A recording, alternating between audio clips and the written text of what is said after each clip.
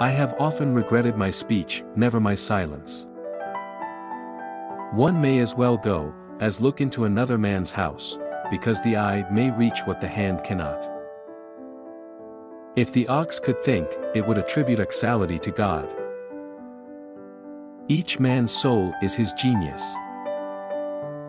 Happiness is the possession of the excellence proper to us, and of the power subservient to it. An ambassador should study the welfare of his country, and not spend his time in feasting and riot. Tragedy when ridiculed by comedy does not condescend a reply. Counsel in trouble gives small comfort when help is past remedy. Antipater uses us favorably if he looks upon us as staves, but very hardly if he considers us as freemen. Geometry is one of the handles of science and philosophy.